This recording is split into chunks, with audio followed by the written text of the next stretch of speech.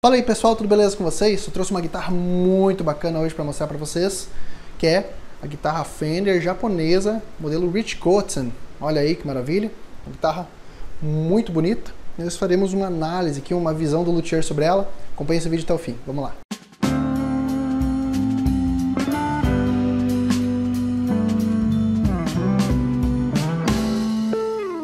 Não esquece de curtir esse vídeo, compartilhar aí com seus amigos e se inscrever aqui no canal se você quer ter mais conteúdos como esse. Então essa aqui é a Fender modelo Rich Cotton, tá? Uma guitarra fabricada no Japão. Uma guitarra muito bem construída, eu particularmente achei ela muito legal, muito elegante, muito bonitona. E a questão aqui do madeiramento, vamos começar pela parte do corpo. Madeiramento, tá? O top dela é Inflamed Maple.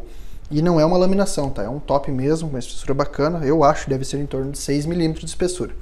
Então você tem uma profundidade dos veios bem legal aqui. E tem esse burst em preto e um tingimento amarelo aqui na, na parte central do, do tampo. Na parte de trás, nós podemos ver aqui a questão do corpo, é um corpo em ash. E eu tentei identificar aqui quantas peças seriam. Pelo que eu identifiquei, são duas. E a emenda não é central, ela é um pouquinho mais para o lado aqui. Mas é muito bem feita, eu achei bem bacana. Um detalhe que eu quero observar é aqui na parte de trás, o acabamento das buchas, onde você passa as cordas, tá? Ela não é sobreposta, ela é embutida. O passo aqui ela não tem degrau, tá?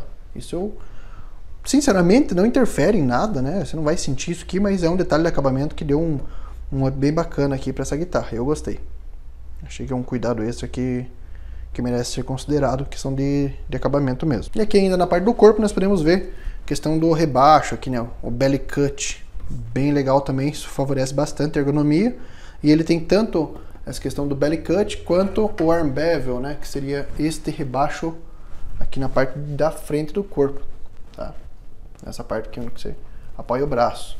Esse rebaixo que é bem legal, e inclusive, apesar de ter esse rebaixo, que é um top dobrado em cima, né, o que a gente chama de drop, drop top, ele ainda assim tem o, o, o filete lateral acompanhando isso. Então, detalhe de acabamento aí que merece respeito. Aqui ainda falando de madeiras, nós temos o braço, que é em maple, e é uma peça só, tá? Ele não tem escala.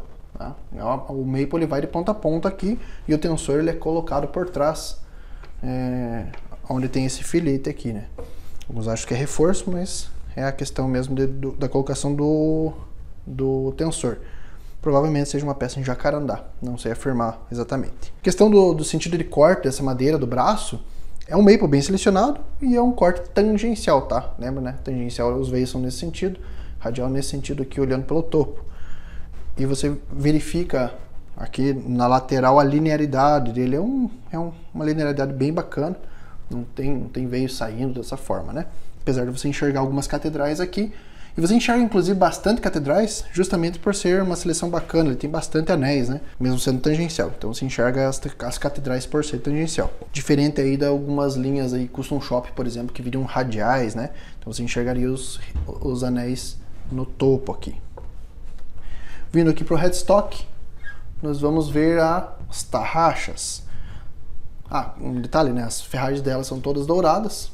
Bem bacana, fica bem elegante isso e elas vêm com tarraxas Gotô da série 381, o que eu achei bem legal.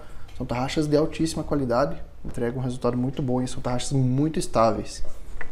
Vindo aqui para o headstock, né, você vai ver a, a, logo e a assinatura e o nut, que é uma, etapa, uma parte muito importante do meu ponto de vista. E o nut dela ela vem, é, segundo as especificações técnicas, aí, em osso, ok? Na minha opinião, só precisa fazer um arredondamento aqui, um ajustezinho, para ficar bem 100% bacana. Continuando aqui na parte da escala, nós temos os inlays. Esses inlays eles são em abalone, que na minha opinião deixam bem elegante também, né? Combina com todo o conjunto. E os traços em níquel é, jumbo, né? Vamos fazer a medida aqui dos, dos trastes. Eu tenho uma, eu adaptei meu paquímetro aqui para poder medir a altura dos trastes. Ele não fica tão preciso a medida, mas dá para ter uma noção boa.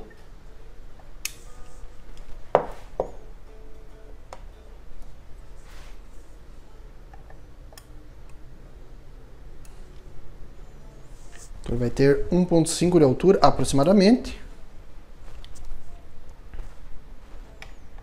Por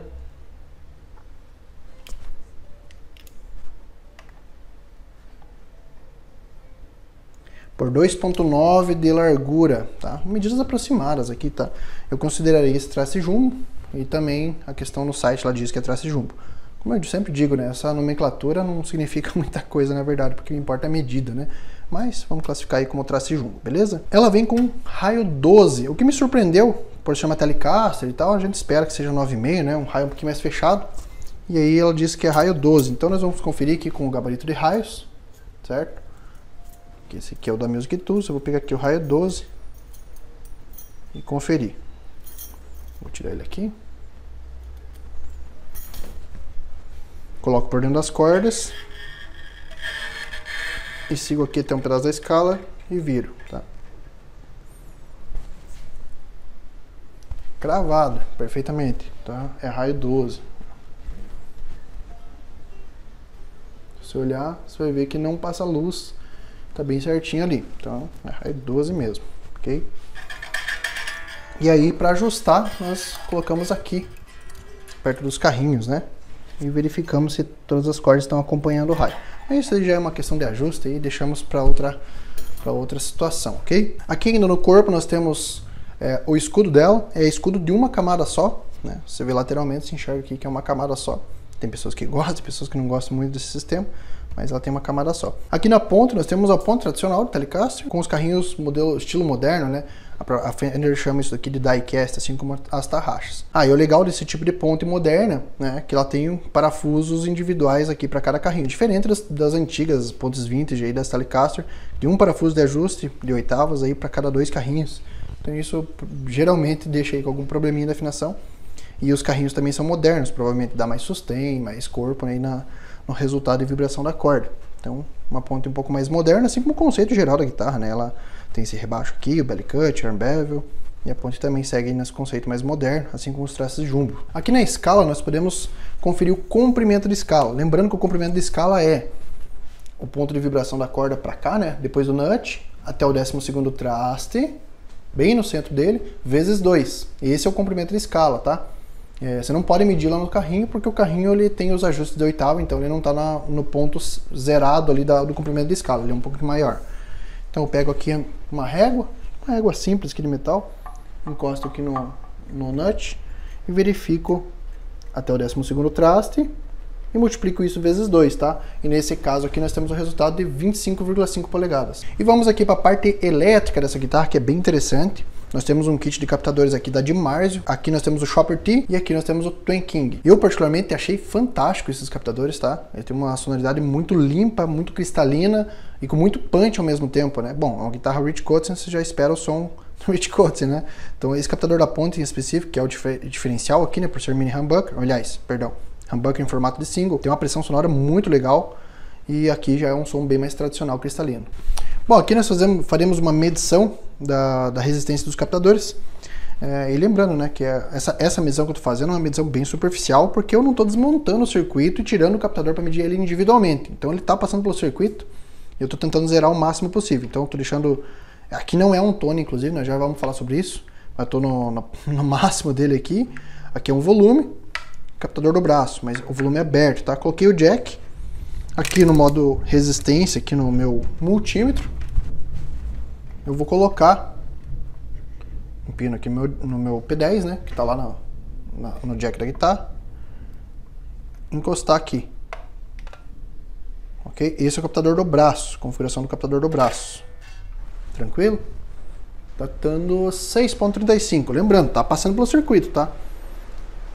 ponte tá marcando 8.54. E na posição central seria a mistura dos dois captadores, né? Que dá 3.72. Beleza? Então nós vamos falar aí a parte interna da, da elétrica. Vamos, vamos abrir aqui. Então vamos desmontar aqui a parte elétrica. Tirar os parafusinhos do plate. A vantagem da Telecaster é isso, né? Você não precisa nem tirar corda, nada. Você só tira dois parafusos e você já tem acesso à parte elétrica.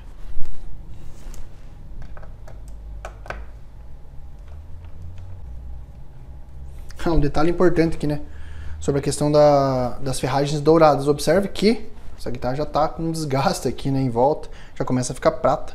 Essa é uma questão que até alguns fabricantes não utilizam o dourado, alguns luthiers mesmo não utilizam o dourado por, por essa questão. Para quem gosta da guitarra envelhecendo e tal, não tem problema nenhum.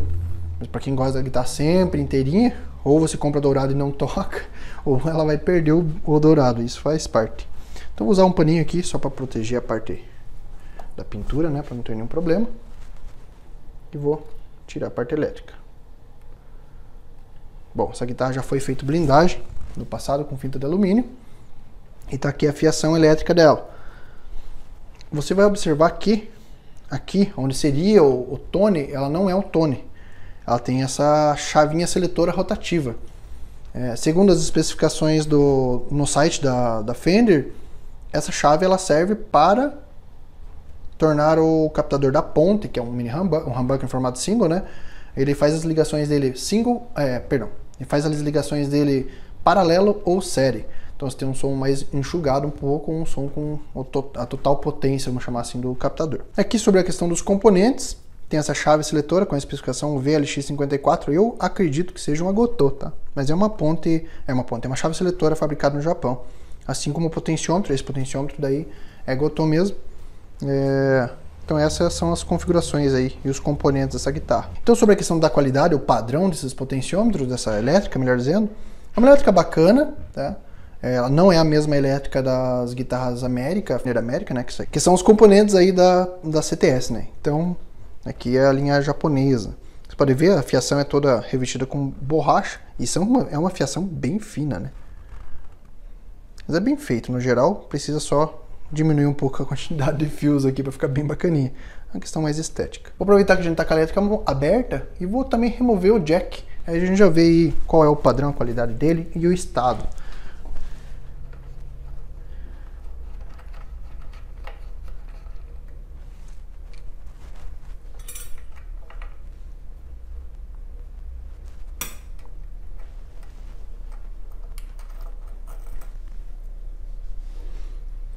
Tá aqui o jack.